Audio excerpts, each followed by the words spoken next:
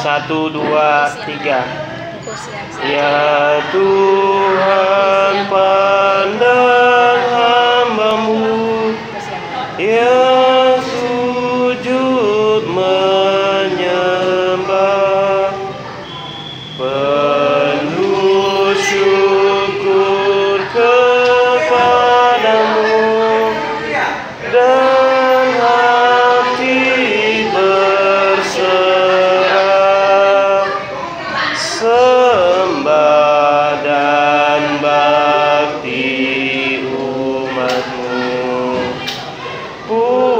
Jesus.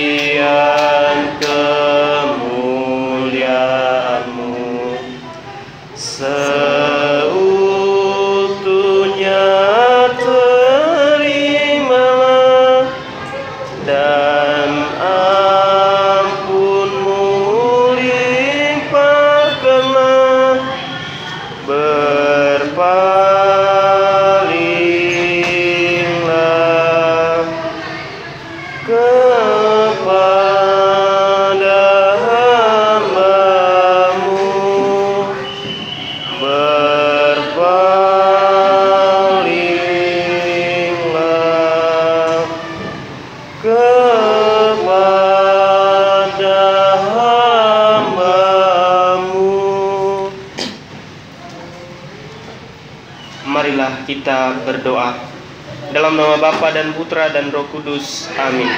Dikasihilah hati kudus Yesus di seluruh dunia. Bunda hati kudus. Allah Bapa yang Maha Baik, kami mengucap syukur atas penyertaan-Mu dari malam hingga sampai pada pagi hari ini sehingga kami dapat berkumpul untuk bersyukur atas segala anugerah yang telah kami terima dan juga pada pagi hari ini kami sebentar lagi mendengarkan sebagian dari sabdamu. Kami memohon rahmatmu sehingga kami dapat memahaminya dan melaksanakannya dalam pelayanan dan juga dalam tugas-tugas kami pada hari ini. Doa ini kami panjatkan kepadamu dengan pengantaraan Kristus Tuhan kami. Amin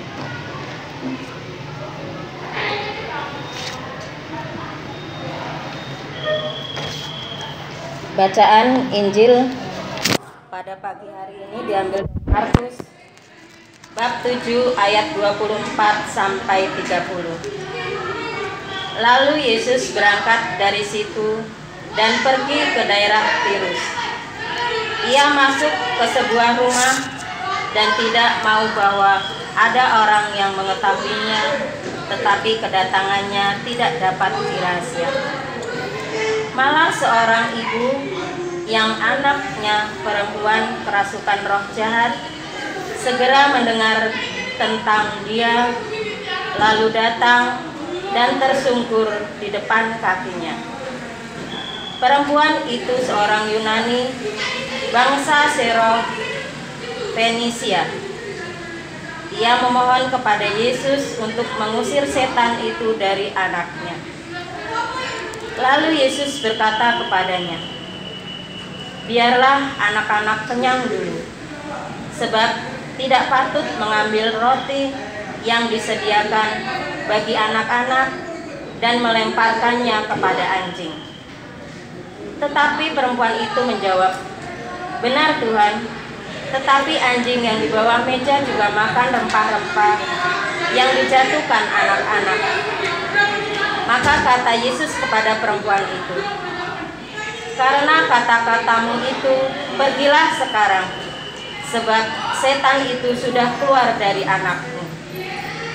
Perempuan itu pulang ke rumahnya, lalu didapatinya anak itu berbaring di tempat tidur, sedang setan itu sudah keluar. Bapak Ibu, percaya dan mengandalkan Yesus merupakan modal dasar karya keselamatan. Karena Injil menegaskan bahwa menjadi terberkati bukan persoalan siapakah kita atau apakah kita mengaku sebagai murid Yesus, melainkan bagaimana percaya hidup kita kepadanya. Mempercayai diri kepadanya berarti mengandalkan dia dan percaya bahwa dia akan melakukannya.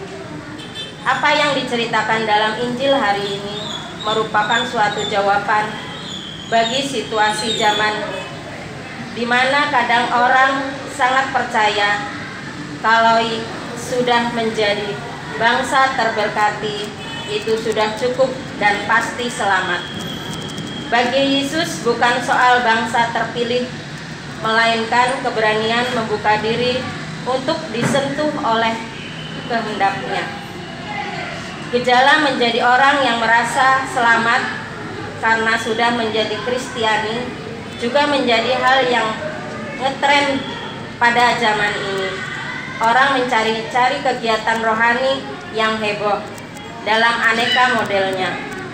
Lupa bahwa kegiatan kerohanian bukan tujuan, melainkan sarana untuk mencapai suatu perjumpaan dengan Yesus dan membuat kita menjadi seperti seorang perempuan dari Siro Fenisia yang mengatakan, Yesus inilah aku dan aku percaya kepadamu seluruh hidupku. Aku sungguh akan melakukan apa yang engkau perintahkan. Siap untuk diubah dan menjadi pribadi yang melakukan kehendak Allah adalah sikap iman yang dituntut dari kita. Amin.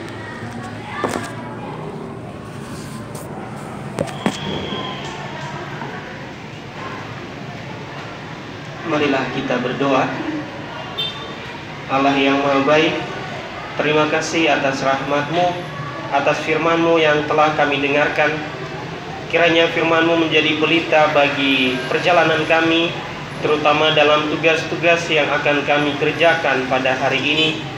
Berkati rekan-rekan teman-teman kami yang sedang dalam perjalanan atau juga yang sedang dalam situasi yang kurang baik. Kiranya Engkau menolong mereka dan menyertai mereka sebagaimana Tuhan menyertai kami pada saat ini. Doa ini kami panjatkan kepadamu dengan pengantaran Kristus Tuhan kami. Amin. Santo Tarsisius, doakanlah kami. Amin. Dalam nama Bapa dan Putra dan Roh Kudus. Amin. Terima kasih.